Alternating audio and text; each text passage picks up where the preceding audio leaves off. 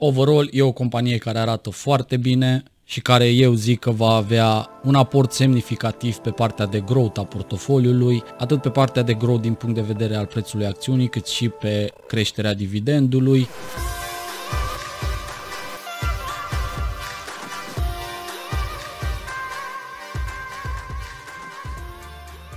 Salutare comunității RoInvest! Haideți să vă arăt ce companie am cumpărat în luna ianuarie 2023. Repejor, repejor, înainte să trecem la treabă, dacă vrei acces la cea mai tare bază de date creată de noi, unde avem analize la numeroase companii, fie ele bănci, rituri, companii ce oferă dividend, companii ce nu oferă dividend, comparații între companii, portofoliile noastre, al meu, al lui Marius, screener cu peste 700 de companii, modele de calcul al prețului fair, iar pe lângă toate astea acces și la grupurile private de Telegram, unde învățăm împreună foarte multe chestii interesante. Feedback-ul celor ce se află acolo deja de mai bine de un an este unul pozitiv. Sunt o groază de oameni care consideră că au învățat mai multe în comunitatea noastră privată decât în cursuri de sute și mii de euro. Te aștept acolo și vei găsi link către Patreon în descrierea acestui clip. De asemenea, tot acolo vei găsi un link către Seeking Alpha pe care dacă îl vei folosi vei avea reducere de 50% la abonamentul premium anual, un site pe care eu îl folosesc zi de zi și care zic eu își merită banii. Dacă vei folosi linkul meu, vei beneficia de reducere, voi primi și eu un mic fee și vom avea amândoi de câștigat. Hai să trecem la treabă să vedem ce companie am cumpărat luna aceasta. Prima companie achiziționată este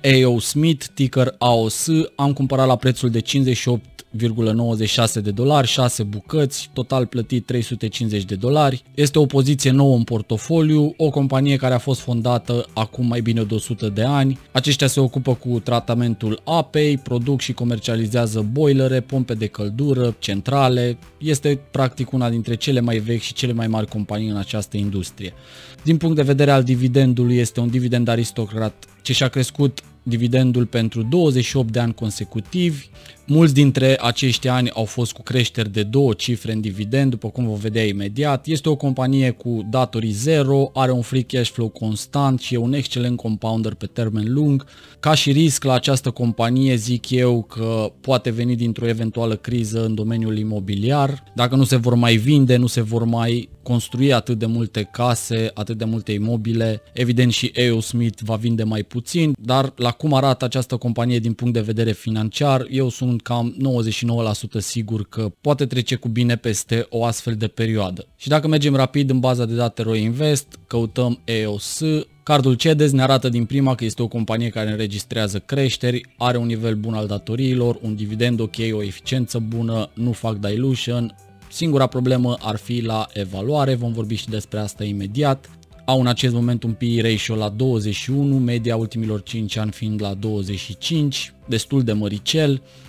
Dacă ne uităm pe tabelul de dividend coverage, vedem că acesta este foarte bine acoperit de free cash flow per share și diluted DPS. Payout-ul în ultimii 10 ani s-a aflat constant în jurul valorii de 30% să zicem. După cum vedem aici, am folosit ultimele cifre din Q3 2022 pentru că aceștia nu au raportat încă ultimul exercițiu financiar și anume Q4. Dacă ne uităm puțin mai jos, vedem creșteri în venituri, marjele ușor îmbunătățite, iar acest grafic care mie îmi place foarte, foarte mult este o companie cu datorii zero, avem un net debt negativ, compania generează undeva la 3, 4, chiar 500 de milioane în free cash flow constant în fiecare an, au alți 400 de milioane în cash și investiții pe termen scurt, iar dacă mergem mai jos, vedem un total debt de 300 de milioane, deci practic e ca și cum aceste datorii nu ar exista, le pot achita ori din free cash flow generat în mai puțin de un an, ori din banii cash deținuți de companie. Din punct de vedere al evaluării, consider această companie a fi evaluată corect, să zicem, undeva între 45 și 50 de dolari. Am aici o valoare intrinsecă calculată folosind 5 metode la 47 de dolari. Eu am ales să deschid o poziție la 58,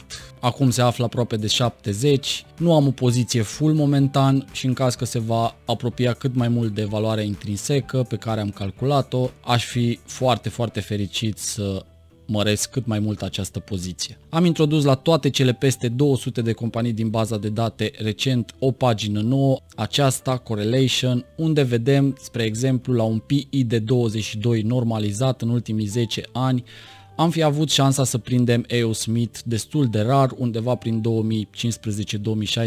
aici, apoi în crashul din 2020. Recent se află destul de sus, însă și acest tabel ne indică o valoare ok, tot în jurul a 50-50 un pic de dolari. Cam atât despre EO Smith, următoarea companie achiziționată de mine în luna ianuarie este un RIT, MAA, Mid America Apartments este un rid rezidențial care se concentrează pe partea de sud plus partea de vest a Americii. Este așa zisa zonă Sunbelt. Eu zic că e un plus față de celelalte companii de genul faptul că ei se focusează mai mult pe statele cele mai importante din punct de vedere al dezvoltării. Din nou și această companie este unul din riturile cu cel mai mic nivel al datoriilor, riturile analizate de mine mă refer și eu cred că are șanse să performeze mai bine decât competitorii. Cam acestea ar fi câteva din argumentele pentru care eu am ales Mid America Apartments în detrimentul Essex Properties, spre exemplu SSS, cu toate că diferențele sunt foarte mici între cele două. O vom analiza mai pe larg poate într-un clip dedicat. Am cumpărat două acțiuni la prețul de 155, valoarea fair am calculat undeva pe la 130, din nou și aici am luat destul de scump, însă nici aceasta nu este o poziție full. Vom vedea în clipul următor unde vă voi prezenta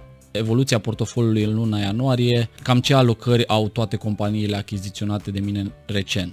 Îmi doream foarte, foarte mult să cresc puțin alocarea pe sectorul tech, așa că am cumpărat și două acțiuni ACN, Accent, Accenture, Așa că am cumpărat și două acțiuni ACN la prețul de 275 de dolari. Din păcate nu va contribui foarte mult la alocarea pe venit, aceștia au un yield mic, undeva la 1 și ceva la sută, însă i-am ales pentru că, deși consider că sunt la un preț destul de scump acum, același lucru ca și la EOS, în caz că se va îndrepta tot mai mult spre 200 de dolari, voi mări poziția fără nicio problemă și aceasta este o companie cu zero datorii, au un payout foarte mic, au creșteri de două cifre în venituri, ei se ocupă cu consultanță pe tehnologie, au ca și principal competitor listat public IBM. Nu știu ce părere aveți voi despre IBM, dar eu îl consider un avantaj competitiv, iar ca și risc, eventualele probleme de securitate care le-ar putea strica reputația în această industrie a consultanței pe IT, eu cred că reputația acestor companii este foarte, foarte importantă. Și mergem din nou în baza de date, căutăm ACN, din nou avem și la aceștia un semnal de alarmă din punct de vedere ale valorii, mai avem un punct la dividend, chowder nu depășește 12%, dividendul a fost crescut în medie în ultimii 5 ani undeva la 9,9%, cu un yield de 1,5% e cam puțin, dar dacă ne uităm pe celălalt grafic al payout-ului, vedem că acesta se află constant în jurul valorii de 30%, un payout foarte bun și sunt șanse foarte, foarte mari să vedem în continuare, zic eu, creșteri de high single digit sau chiar de două cifre. La fel ca și EOS, aceștia au creșteri în venituri și datorii 0, au o poziție de cash plus short-term investments de aproape 6 miliarde în acest moment, generează undeva la 8 miliarde free cash flow anual. Dacă ne uităm mai jos, acesta a crescut în ultimii 10 ani de la 3 miliarde în 2013 până aproape de 9 recent, iar din punct de vedere al datoriilor avem un net debt cu minus pentru că totalul datoriilor sunt undeva la 3,3 miliarde, după cum spuneam, cash și short term investments aproape de 6 miliarde. Overall e o companie care arată foarte bine și care eu zic că va avea un aport semnificativ pe partea de growth a portofoliului, atât pe partea de growth din punct de vedere al prețului acțiunii, cât și pe creșterea dividendului. Din păcate și ACN este la un preț destul de mare acum, am calculat valoarea intrinsecă aproape de 200 de dolari, am deschis o poziție după cum vă spuneam la 275, acum se află la aproape 290, dar din nou, nu am absolut nicio problemă să măresc această poziție dacă se va îndrepta către valoarea intrinsecă. Dacă ne uităm și la corelații, din punct de vedere PI pe acest grafic, vedem că linia albastră se află la fel, tot în jurul valorii de 200 și ceva. O linie albastră care ne indică faptul că am fi avut ocazia să prindem ACN în ultimii aproximativ 5 ani, de două ori, undeva prin 2018, la creșul din 2020, iar recent, în ultimii 2-3 ani, a fost constant supraevaluată. Dacă ne uităm din punct de vedere price to free cash flow, este cam același lucru, price to sales la fel. Și putem observa cum prețul merge în tandem cu creșterea veniturilor, avem revenue per share, punctele portocalii, prețul crește odată cu încasările și am fi avut ocazia să prindem ACN la un price to sales de 2,3, tot așa prin 2018, în 2020, iar recent am avea ocazia dacă s-ar apropia cât mai mult de 200 de dolari per acțiune. Și trecem acum mai departe, pe lângă aceste trei noi poziții în portofoliu, EOS, MAA și ACN, am mai cumpărat acțiuni la încă două companii pe care le aveam deja. Acestea sunt Legge Templat, am cumpărat două acțiuni la 35.41 și Verizon, trei acțiuni la prețul de 41 de dolari. Am vrut să compensez puțin yieldul din cauza că am cumpărat în ultima vreme, atât în decembrie cât și în ianuarie, companii cu yield destul de mic și voi vrea în continuare să compensez puțin și cu un yield mai mare, așa că am cumpărat momentan la leghe templat, unde aveam o alocare relativ mică, nu am făcut un DCA semnificativ pentru că nu am foarte mult minus la această companie, același lucru și la Verizon, aveam o alocare mult mai mică decât AT&T și la fel nici la ei nu aveam foarte mult minus, deci nu am făcut un DCA semnificativ, dar am mărit poziția și am compensat puțin cu un yield mai mare. Și am balansat puțin celelalte cumpărături cu un yield destul de mic. Planuri pentru luna februarie, vreau neapărat și neapărat să adaug ceva pe sectorul healthcare, unde nu am mai adăugat de mult din cauza că acest sector a avut performanțe foarte, foarte bune. A fost foarte greu să găsești ceva evaluat corect. Alocările au rămas foarte mici, noroc au fost puțin ridicate cât de cât de performanța bună Evri și Amgen, care sunt cele două companii din acest sector deținute deja de mine de mai bine de 2 ani și urmăresc în această industrie BMY, Metronic, Viatris, Johnson Johnson, Zoetis și Stryker Corporation. Am văzut zilele astea ușoare scăderi pe sectorul healthcare și pharma. E ceva normal pentru că, după cum spuneam, acestea au avut o performanță foarte bună în ultimii ani, iar dacă trendul se va schimba și banii se vor muta puțin, dacă vom vedea creșteri din ce în ce mai bune pe sectoarele tech și consumer discretionary, sunt sigur că în același timp vom vedea corecții și scăderi pe sectoare precum healthcare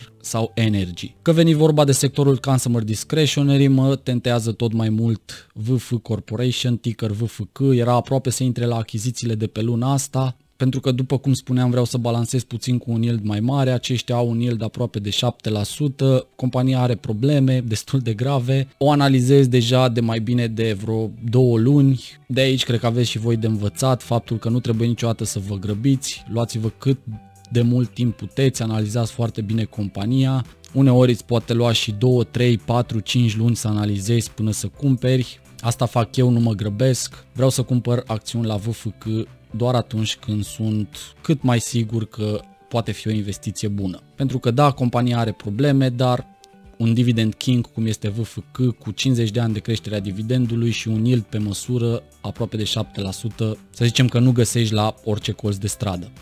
Iar pe final probabil voi face DCA în sus luna asta la Visa și Snap-on, două companii la care vreau de mult timp să adaug, nu mi-au dat ocazia, mai ales la SNA. Este aproape de all-time high și dacă nu va mai coborâ, probabil voi face DCA în sus, asta e. În total am investit în luna ianuarie 1287 de dolari, prin care am adăugat alți 38 de dolari la totalul dividendelor anuale brute, iar mai jos aveți dovezile, am cumpărat Verizon și leghe templat pe Interactive Brokers și ACN, MAA și EO Smith pe Trading 212 am de gând cumva pe viitor să fac mici restructurări din punct de vedere a platformei de investiții. Dar vom mai vorbi despre asta mai încolo. Cam astea au fost companiile cumpărate de mine în luna ianuarie. Dacă ți-a plăcut acest clip, lasă un like, lasă un coment dacă ai orice întrebare pentru mine. După cum știți, voi răspunde la absolut toată lumea. Va urma și clipul lui Marius în care și el vă va prezenta tranzacțiile sale din luna ianuarie. Nu știu dacă deja l-am postat sau îl voi posta după acesta, vom vedea. Poți să-mi lași un comentariu cu ce companie ai cumpărat în ultima vreme, iar eu nu vă mai rețin până data viitoare. Vă salut, la revedere!